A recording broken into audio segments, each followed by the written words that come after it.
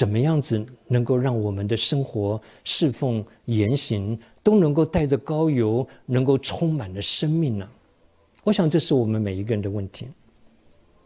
而圣经告诉我们，《罗马书》第七章第六节，他说：“我们既然在捆我们的律法上死了，现今就脱离了律法，叫我们服侍主，按着心灵的新样，或是圣灵的新样，不按着遗文的旧样。”换句话说，你要怎么样子让我的生活言行侍奉充满了圣灵，充满了生命呢？他说：“你就是要脱离徒有宗教外表的遗文旧样的服饰。”学习在圣灵的新样里，在生命里面，我们来侍奉神。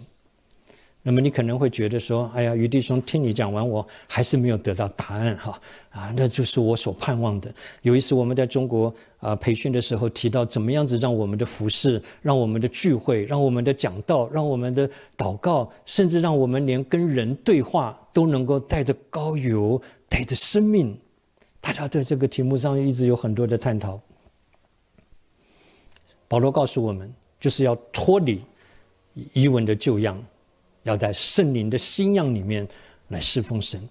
那你说，这个这个还是没有答案哈？其实答案都在啊这个这句话里面。你看圣经里面哈，路加福音，我举个例子，路加福音十一章第九节到第十节，啊，主耶稣说：“我又告诉你们，你们祈求就给你们，寻找就寻见，叩门就给你们开门。”啊，你们一定会想说，那那我要怎么样子可以让这个应许实现在我们身上呢？那个路在哪里呢？那主耶稣接着讲，因为凡祈求的就得着，寻找的就寻见，叩门的就给他开门。你看主耶稣的回答跟他的应许是重复的，表示因为这是太直接、太清楚了，不需要解释的。同样的，我们今天服侍主，怎么样子能够带着高油、带着生命？你就是脱离。英文的旧样，在心灵的新样里面，英文是说：“We shall serve in the newness 或者 new way of the Spirit, and not in the oldness 或者 old way of the written code。”啊，不是照着遗文的旧样。那在这里，他提醒我们两件事情哈。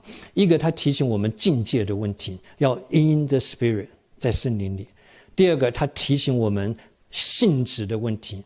啊，是要在新的里面的 newness new way，是要在新的里面，就是不要老旧，啊，不要只是在表面的，不是只是呃呃一样画葫芦的，是要真实的。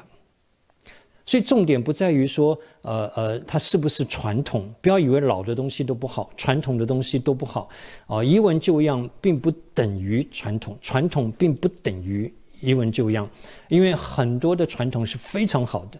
它是经过历代累积的经验所出来的精华和丰富，有一些是主所要的，例如说波饼聚会，已经两千年了，你不能说它是传统，就是一文旧样，不是的，而是要在心灵新样里面来波饼。我们到今天都还不太懂得波饼，还要进步，一直要播到主回来，对不对？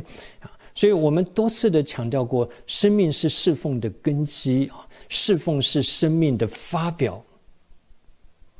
先要成为对的人，我们才会有对的生命，才才可能会存着对的态度，能够做对的事，在神面前有对的侍奉。